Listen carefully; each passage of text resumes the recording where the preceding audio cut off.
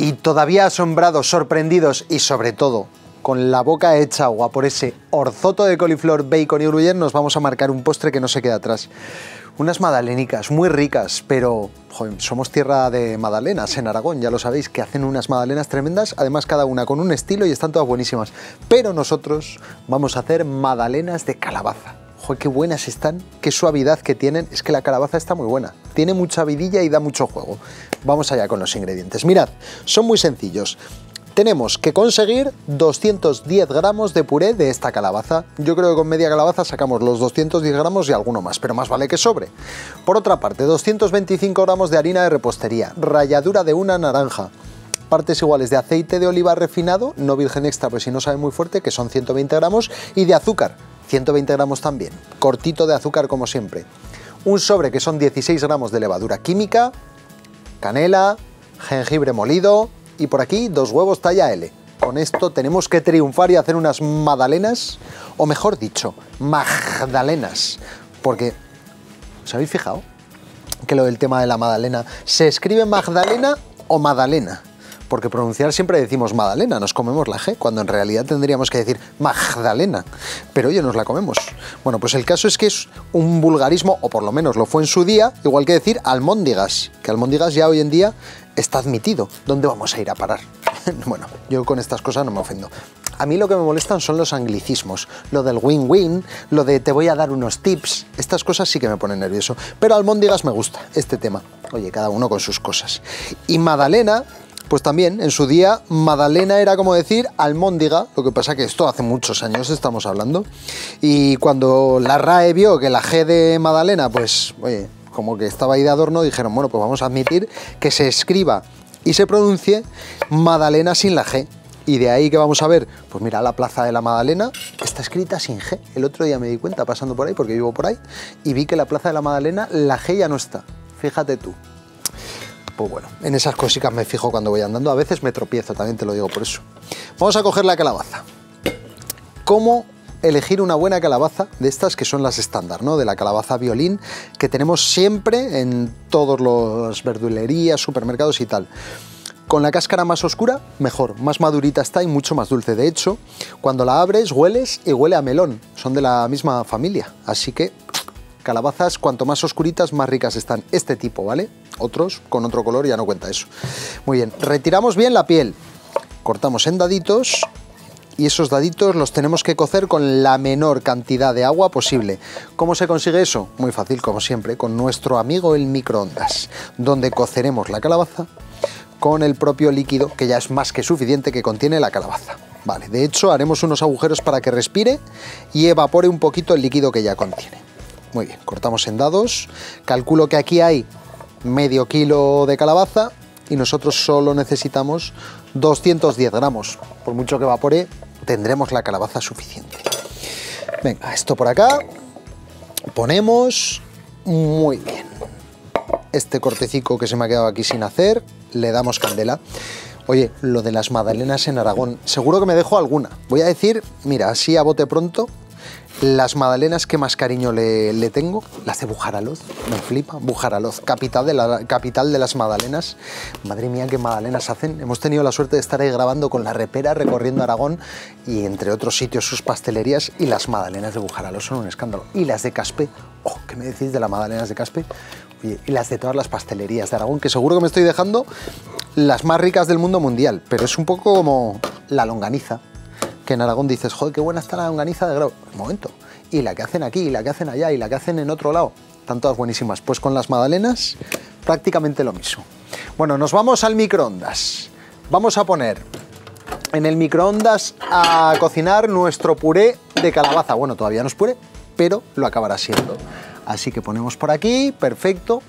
Más o menos calculo que 10 minutitos serán suficientes para que eso se quede bien tierno y podamos triturarlo. Y mientras tanto, con ritmo trepidante y ramatanga, como decían las ketchup, vamos a poner por aquí aceite de oliva, 120 gramos, pongo aceite de oliva refinado, ¿vale?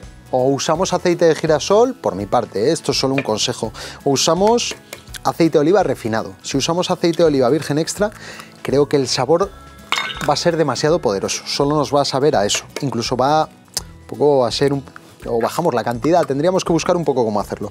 Pero si ponéis 120 gramos de aceite como lo he hecho yo, os recomiendo que pongáis aceite de oliva refinado. Ralladura de naranja, que se lleva de maravilla con la calabaza. Es que pegan en color y muchas veces también en sabor. Es así en el mundo de los alimentos. Ponemos por aquí el azúcar. Vamos a poner también un poquito de jengibre molido, un poquito de canela y luego entrarán en juego la harina y la levadura que las mezclamos ya ahí. Entremezclamos un poquito ambas, pero vamos, más sencillo no puede ser esto. Se va a ocupar nuestra amiga la batidora, no es Rita, es su hermana. Vamos a darle candela a esto y en cuanto esté cocinada la berenjena, digo la berenjena, ¿qué me pasa? No lo sé, estoy nervioso, tengo ganas de comerme las magdalenas de calabaza, eso es.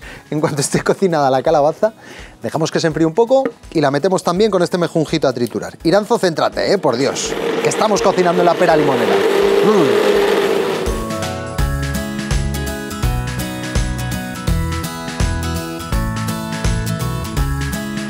Bueno, a esta mezcla le vamos a meter la calabaza, que ya la tenemos cocida y por lo menos tiene que estar a temperatura ambiente. No la metáis caliente, pues si no, los huevos que lleva esta mezcla van a cuajar aquí sin llegar al molde de las magdalenas.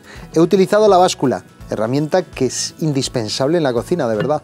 Eh, a ver, entiendo todo en esta vida. Iba a decir, no entiendo que todavía no tengáis báscula. Pues claro que lo entiendo. Oye, pues si no te apetece y no te hace falta y no la echas en falta, ¿para qué vas a tener báscula? Pero te digo una cosa, a poco que te guste la cocina, te vas a encontrar seguro con alguna elaboración a lo largo del día que digas tú, que no la eches en falta un poquito, o sea, digas tú, pues esto si lo pesase me saldría igual siempre.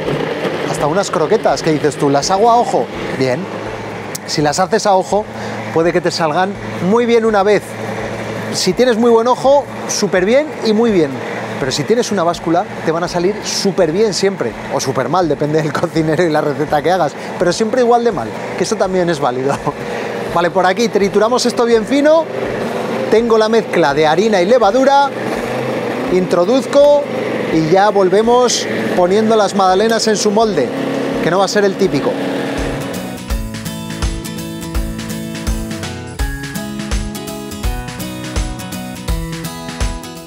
Pues más o menos una masa similar a las magdalenas tienen los franceses, se llaman financiers. Es muy parecida, no es lo mismo pero casi. Por supuesto ellos usan mantequilla, como no. Y ellos lo suelen hacer en estos moldecitos alargados. Yo voy a meter las magdalenas y les vamos a seguir llamando magdalenas aquí. Y eso que al parecer bueno, pues no sé si habéis estado por Santiago, por Galicia, allí las magdalenas suelen tener la forma esta típica de concha. Y es porque se supone que el molde que empleaban para hacer las magdalenas era la concha de vieira que llevaban los peregrinos. A mí me cuaja bastante la idea.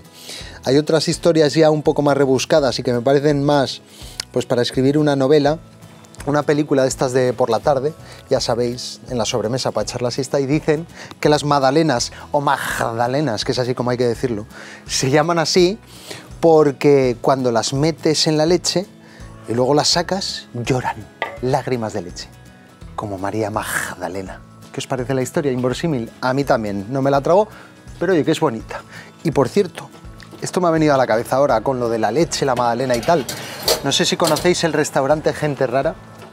magníficos, espectaculares aquí en Zaragoza y recientemente estrellados, enhorabuena a todo el, el equipo de Gente Rara, tiene un postre increíble y es que el padre del cocinero pues era pastelero y hacían unas magdalenas tremendas y entonces él lleva, el chaval lleva el recuerdo de las magdalenas que le hacía su padre untadas en la leche fresca y tiene un postre con eso, cambiada la magdalena, cambiada la leche con un helado de leche fresca y es increíble. Os lo recomiendo de verdad porque es una experiencia.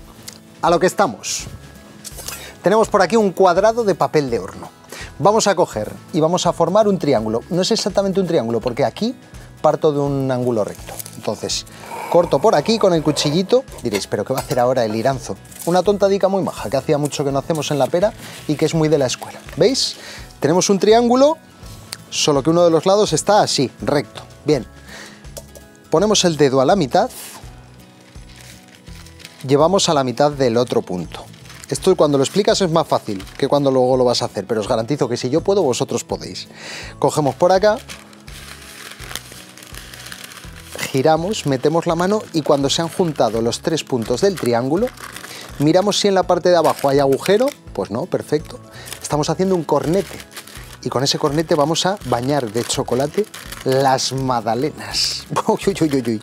Esto va a ser un escándalo. Doblamos estas punticas y fíjate, cornete. Aquí podemos meter chocolate derretido, que es precisamente lo que tenemos en el microondas esperando. Volvemos en un momento con unas magdalenas de calabaza increíbles, echando así hilillos de chocolate.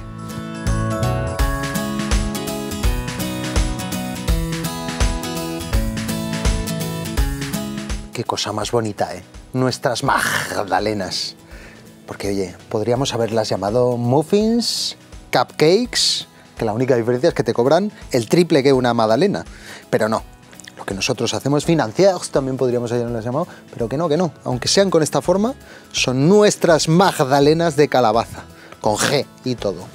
Vamos a poner por aquí un caminito de magdalenas de calabaza. Es un poco irritante, ¿no? Ya paro, venga. es que me da mucho gustico. Me rasca así la garganta. Vale, ponemos por aquí. Otra por acá. Lo tenemos. Monta y cabe. Perfecto. Un poquito de toque, ya sabéis. Ahí está, lo tenemos todo listo. Perfecto. Y ahora lo que vamos a hacer es, fijaos, tenemos aquí chocolate derretido. ¿Cómo lo hemos derretido? Pues como es ley en la pera limonera. Microondas, mínimo de potencia durante varios minutos o si lo ponéis a potencia media, en ese caso tenéis que tener cuidadín y hacerlo de minuto y medio en minuto y medio. Ponemos el chocolate, que está cremoso, no está líquido, con nuestro cornete, que no se os desmonte. Enrollamos desde la parte de arriba el cornete y doblamos un pico y otro. Esto en la escuela era trepidante, no veas las que liábamos. Pero al final le coges el puntillo, claro, como a todo. Cogemos por acá. Mira, y vamos a poner un caminito de chocolate negro. Perfecto. Para bañar nuestras magdalenas. Se me antoja un poco corto. Esto por acá. Ponemos también ralladura de naranja por encima, recién rayadita, recién lavada la naranja. No puede estar todo más recién y más fresco. Unas hojitas de menta que se agarren al chocolate antes de que se solidifique. Y para mí están buenas de todas maneras, untadicas en leche como queráis. Pero si las coméis calientes, templaditas, no calientes, ¡buah! Es que son la bomba. Un poquito de sésamo y lo tenemos listo. Magdalenas de calabaza.